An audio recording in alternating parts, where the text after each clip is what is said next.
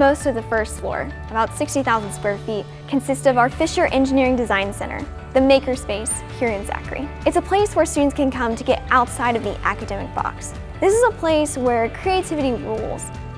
And here is the metal shop inside the Fischer Engineering Design Center. If a particular class or project requires the use of a lathe or a mill, for example, you can come down and learn how to use it correctly and safely. And finally, we have the project room, a space that most students will get familiar with during their time at Texas A&M.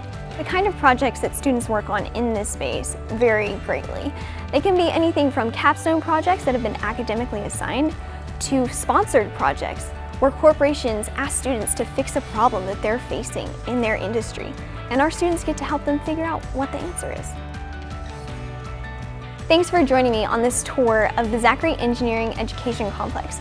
I hope you've enjoyed this virtual inside look into our home here at Texas A&M. If you'd like to learn more about the facility, please visit www.zachry.tamu.edu. If you have any questions regarding prospective student issues or general engineering, please contact us at engineering-recruiters at tamu.edu.